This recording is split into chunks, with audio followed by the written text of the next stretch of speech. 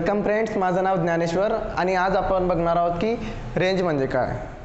तर मित्रांनो रेंज म्हणजे range is equal to L minus S तर एल म्हणजे काय? एल ही आपली लार्जेस्ट व्हॅल्यू असेल. In the observation and S will be the smallest value in the observation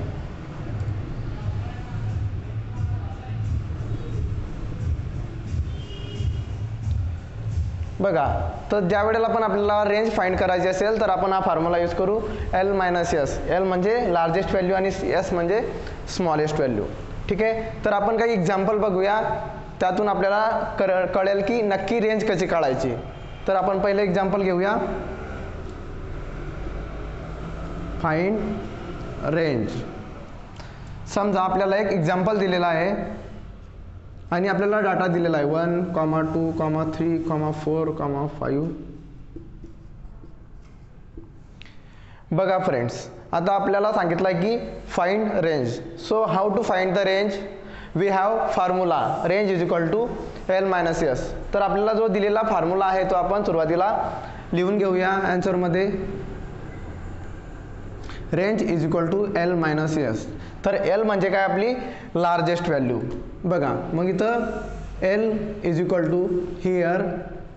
L is equal to largest value. आपल्या ऑब्झर्वेशनमध्ये बघा वनपासून एटपर्यंत कंटिन्युअस डिजिट दिलेले आहे तर आपली लार्जेस्ट व्हॅल्यू काय इथं? ऑफकोर्स यस आणि स्मॉलेस्ट व्हॅल्यू काय असेल आपली? एस इज इक्वल टू सगळ्यात छोटी व्हॅल्यू आपली वन आहे. बरोबर? तर रेंज काय असेल आपल्या डाटाची range is equal to L minus S म्हणजेच eight minus one. Eight minus one is equal to seven.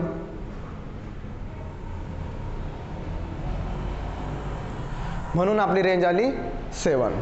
ठीक आहे?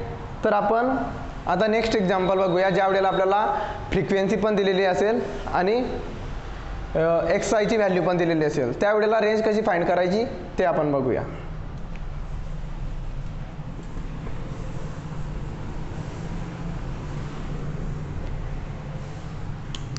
समजा आपल्याला दुसरं एक्झाम्पल दिलेलं आहे त्यामध्ये आपल्याला एक्स आय आणि एफ आयच्या व्हॅल्यू दिलेल्या आहेत.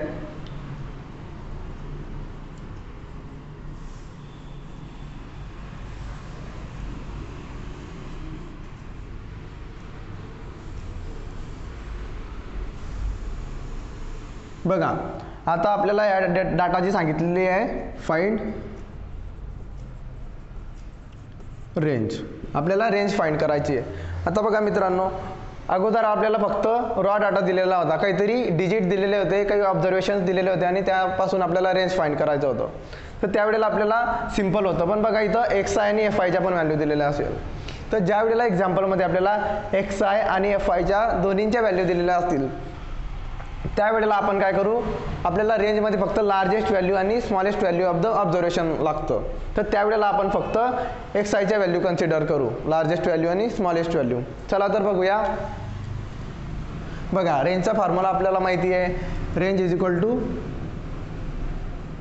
L minus S L म्हणजे लार्जेस्ट व्हॅल्यू आणि एस म्हणजे स्मॉलेस्ट व्हॅल्यू तर इथं here L is equal to largest value काय माझी एक्स एक्स आयमध्ये नाईन आणि स्मॉलेस्ट व्हॅल्यू आहे माझी टू बघा मग range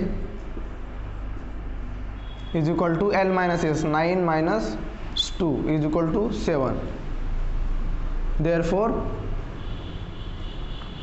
range is equal to seven माझ्या डाटाची आलेली रेंज आहे सेवन तर ज्या वेळेला पण आपल्याला एक्स आय आणि एफ एफ आयच्या व्हॅल्यू दिलेल्या असतील आणि आपल्याला रेंज फाईंड करायची असेल त्यावेळेला आपण फक्त एक्स आयच्या व्हॅल्यू कन्सिडर करू. एफ आयला आपण कन्सिडर करत नाही. तर आपण आता बघूया कोइफिशियंट ऑफ रेंज काय असतं आणि त्याच्या काही फॉर्म्युले बघूया. ठीक आहे?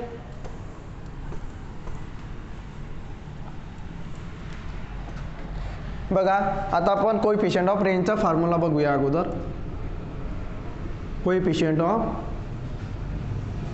रेंज बघा कोइफिशियंट ऑफ रेंज म्हणजे काय?